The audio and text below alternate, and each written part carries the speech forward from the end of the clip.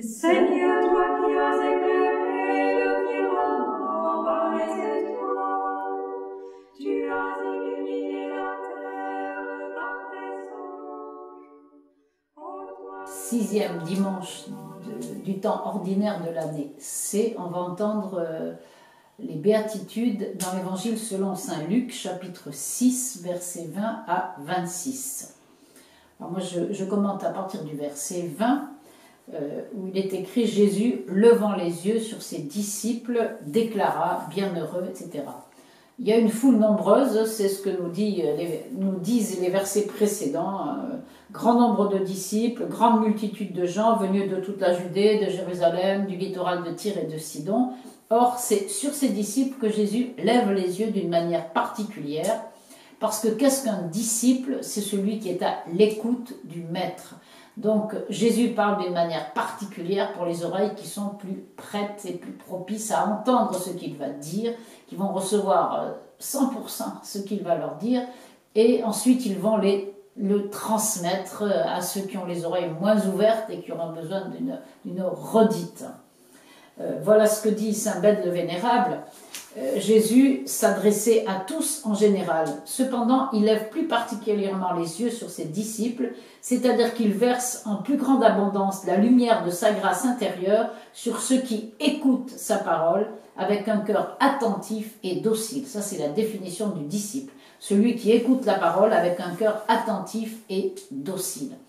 Plus le cœur est ouvert, plus les oreilles sont ouvertes, plus on peut être comblé de la parole de Dieu. Euh, C'est ce qui est dit au psaume 80 au verset 11, hein, quand le Seigneur dit Ouvre large ta bouche et moi je l'emplirai. Il ne peut, peut pas remplir une bouche fermée ni parler à des oreilles fermées. Voilà pourquoi il lève les yeux sur ses disciples. Et ensuite, il y a cinq béatitudes. Bienheureux, bienheureux, bienheureux, euh, réjouissez-vous. Voilà. Donc, euh, béatitude, hein, il y a celle de Saint Matthieu, on est dans Saint Luc, euh, Makarios, en hébreu, bien, en, pardon, en grec, bienheureux êtes-vous. Euh, première fois qu'on voit ce mot dans la Bible, c'est le prénom d'un des fils de Jacob. Euh, c'est écrit au chapitre 30 du livre de la Genèse. Genèse 30, verset 13 c'est Léa qui va enfanter un fils et elle dit Quel bonheur pour moi Les filles me proclameront bienheureuse et elle l'appela Asher. Asher, ça veut dire bienheureux. Elle l'appela bienheureux, ça ferait euh, Beatus en latin ou Félix, en grec ça fait Makarios, nous c'est bienheureux. Elle l'appela bienheureux et il y a un mini magnificat par-dessus le marché. hein. Les filles ou les femmes me proclameront bienheureuse.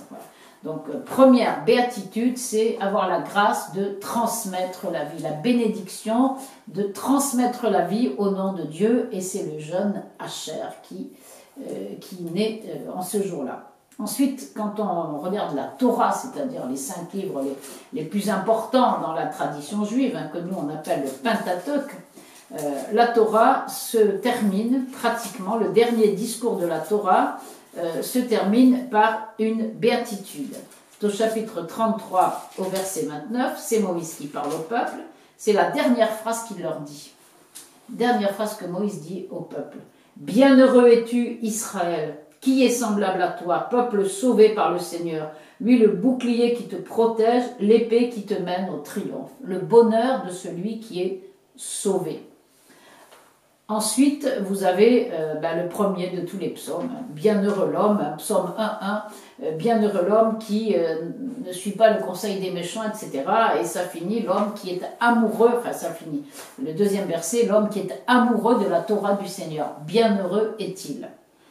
Et puis tout à fait à la fin de la Bible, hein, la dernière fois que vous avez une béatitude, c'est au chapitre 22 de l'Apocalypse. hein, C'est-à-dire, on est complètement à la fin, non seulement de l'Apocalypse, mais en plus de la Bible elle-même. Apocalypse, chapitre euh, 22, verset 14. Bienheureux ceux qui lavent leurs vêtements, ils auront droit à l'accès à l'arbre de vie et par les portes, ils entreront dans la vie. Bienheureux ceux qui peuvent entrer dans l'intimité du Seigneur. Et la Bible est remplie de, de béatitudes parce qu'on a été créé pour être heureux. Alors les béatitudes prononcées par le Seigneur, évidemment, sont assez déconcertantes parce que c'est exactement le contraire de ce que propose le monde. Pour arriver à un vrai bonheur, ben, il faut vivre le contraire de ce que propose le monde. Et d'abord, bienheureux les pauvres, euh, enfin, bienheureux êtes-vous les pauvres, car le royaume de Dieu est à vous. Alors, pauvre ici, c'est ptokos en grec, et ça veut dire sans ressources, démunis et mendiants. C'est pas exactement les anawim ah, les ani, euh, ani dont parle euh, l'hébreu, c'est ici vraiment ceux qui n'ont rien, quoi, ceux qui sont démunis et qui sont prêts à tout donner pour le Seigneur. Euh, c'est ceux dont Jésus parle quand il cite le Deutéronome au chapitre 15 au verset 11.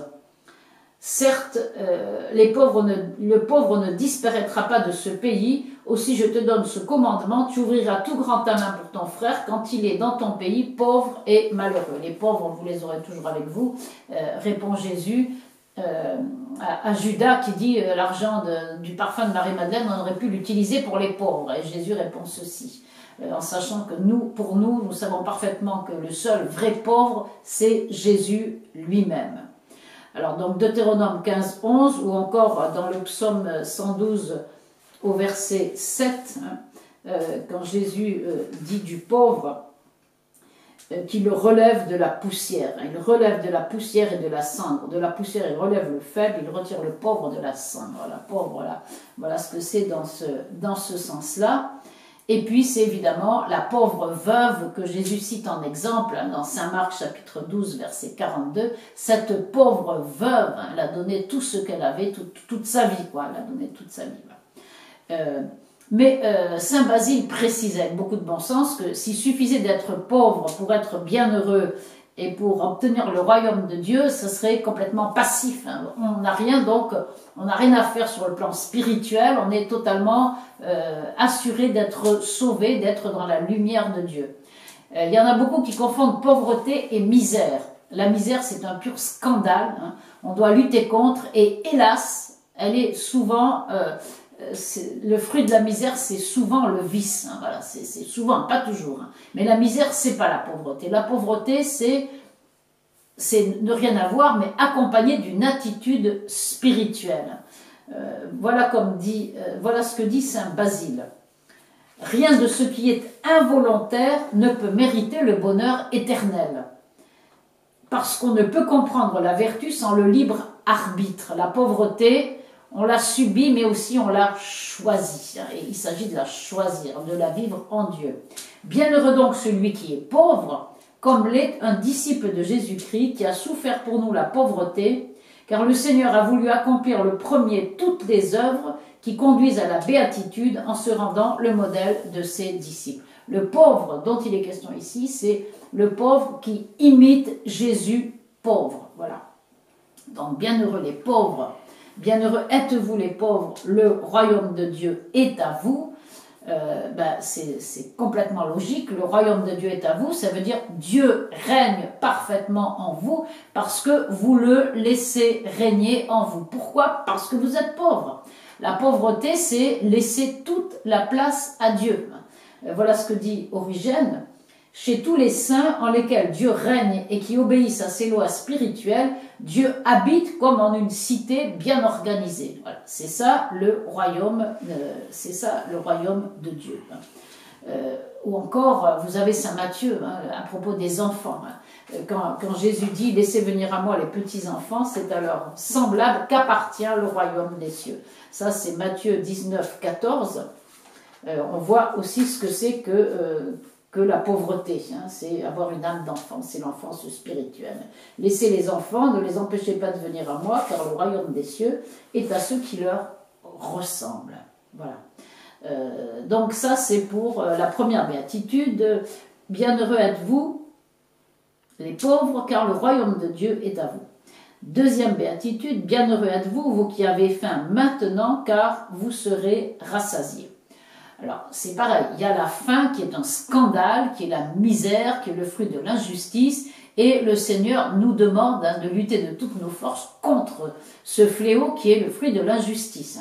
Et d'ailleurs, il est écrit, par exemple, dans le, prophète Isaïe chapitre 58, hein, vous vous rappelez, tout le monde connaît ça par cœur, le jeune euh, qui plaît au Seigneur, c'est euh, 58, 7, partagez ton pain avec celui qui a faim. Et puis vous avez dans Matthieu 25, 34 euh, et suivant, hein, euh, j'ai eu faim et vous m'avez donné à manger. Voilà. Donc ça, c'est la faim assimilable à la misère. Et ça, c'est pas une attitude spirituelle qu'on admire, c'est un fléau contre lequel on lutte de toutes nos forces. Ça, c'est la première faim. Mais deuxièmement, euh, il s'agit aussi d'avoir faim et soif du Seigneur parce qu'on sait qu'il est le seul qui va pouvoir nous rassasier. Euh, je reviens encore à Isaïe, au chapitre 49, au verset 10, 49, 10, où il est dit qu'au ciel, hein, on n'aura plus ni faim ni soif, le vent brûlant et le soleil ne les frapperont plus. Hein. C'est une faim et une soif qui ne seront rassasiés que par le Seigneur et que d'une manière définitive dans, dans les cieux. Vous serez rassasiés, vous goûterez en plénitude le bonheur éternel. Hein. Ce texte d'Isaïe, euh, d'ailleurs, est cité dans l'Apocalypse, hein, pareil, au chapitre 7, euh, où il est dit, euh, Apocalypse 7, 16, ils n'auront plus, ils n'auront plus faim, ils n'auront plus soif, ni le soleil ni la chaleur ne les accablera, puisque l'agneau qui se tient au milieu du trône sera leur pasteur pour les conduire aux sources des eaux de la vie. Voilà, voilà la manière dont nous allons être rassasiés. Euh, c'est annoncé déjà par la manière dont, Jésus fonctionne dans les multiplications des pains ou les multiplications des poissons. Non seulement tout le monde est rassasié, mais en plus il en reste. Voilà, donc bienheureux euh, vous qui avez faim maintenant, car vous serez rassasiés. Euh, troisième béatitude, bienheureux bienheureux êtes-vous, vous qui pleurez maintenant, car vous rirez. Alors ça, c'est euh, une allusion au nom Isaac, Yitzhak en hébreu qui veut dire il rira, et euh, qui nous rappelle que le Seigneur nous conduit toujours vers un plus de joie, un plus de rire, un plus d'allégresse. Hein, que, quand on chemine avec lui, systématiquement, on sait qu'on va passer des pleurs à la joie. Hein. Euh, comme c'était annoncé, par exemple au psaume 29, au verset 6. Euh, Avec le soir viennent les larmes, mais au matin les cris de joie. C'est une annonce de la résurrection, ça évidemment. Ou encore au psaume 125 euh, euh, au verset 6, un psaume de mort et de résurrection. Hein, il est au cœur, un psaume qui est au cœur des psaumes des montées. Hein. Ceux qui sèment dans les larmes moissonnent dans la joie. On part en pleurant, on revient dans la joie. Ça, c'est la, fin du psaume 125. Donc, euh, bienheureux ceux qui pleurent maintenant, euh, car vous rirez. Quatrième béatitude, alors celle-là c'est un peu plus compliqué, un peu plus difficile. Bienheureux êtes-vous quand les hommes vous haïssent, vous excluent, vous insultent et rejettent votre nom comme méprisable à cause du Fils de l'homme. Les persécutions qui sont source de bonheur, voilà, il y a qu'à voir les, martyrs qui sont morts dans la joie. Pourquoi? Euh, parce qu'ils savent pour qui et pourquoi ils meurent, à cause du Fils de l'homme. Alors, ça a été toute la vie de Saint Paul qui en a abondamment parlé. Je vous lis deux textes, non pas de Saint Paul, mais de Saint Pierre. Euh, chapitre, premier épître de Saint Pierre, chapitre 3, verset 14, où il est dit S'il vous arrive de souffrir pour la justice, heureux seriez-vous. Comme dit l'Écriture, n'ayez aucune crainte de ces gens-là, ne vous laissez pas troubler. Et encore, euh, ensuite, même, même première épître de Saint-Pierre, chapitre 4, également verset 14, Si l'on vous insulte pour le nom du Christ, bienheureux êtes-vous, parce que l'esprit, l'esprit de gloire, l'esprit de Dieu repose sur vous. Voilà, c'est la béatitude de tous ceux qui ont, qui ont souffert pour le Seigneur et qui continuent aujourd'hui. Hein. mais ils savent pour qui euh, ils, ils souffrent et vers qui ils vont. Béatitude des persécutés, de ceux qui, qui, qui, souffrent par pur amour et donc qui souffrent en bienheureux et euh, qui seront aussi bienheureux, mais là c'est heureux êtes-vous, voilà. Vous êtes déjà bienheureux. Et finalement, réjouissez-vous en ce jour-là et euh, tressaillez de joie, car alors votre récompense est grande dans le ciel, car c'est ainsi que leur Père traitait les prophètes. Double joie, c'est une constante hein, dans la Bible.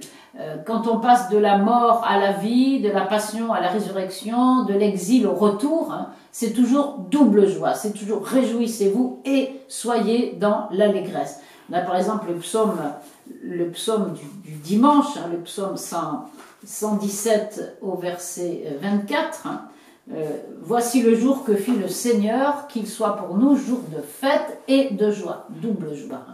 Là, c'est la résurrection, le jour que fit le Seigneur. Ça veut dire une joie maintenant et une joie pour les siècles des siècles. Vous avez encore au chapitre 35 euh, du prophète Isaïe, euh, Isaïe 35, euh, verset 10, Ceux qu'a libéré le Seigneur reviennent, ils entrent dans Sion avec des cris de joie, couronnés de l'éternelle joie, allégresse et joie les rejoindront, douleur et plainte s'enfuiront. Voilà. Euh, donc c'est de cette, double joie, de ce redoublement de joie, euh, c'est ce redoublement de joie que vont vivre ceux qui sont bienheureux parce qu'ils ont aimé le Seigneur euh, jusqu'au bout, d'un amour fou. Voilà, alors je lis pour terminer un texte de Benoît XVI qui dit que finalement les béatitudes annoncent la résurrection. Les béatitudes sont la transposition de la croix et de la résurrection dans l'existence des disciples. Mais leur valeur pour le disciple procède du fait qu'elles ont toutes d'abord trouvé le modèle de leur réalisation dans le Christ Seigneur lui-même. Sœur Claire, merci.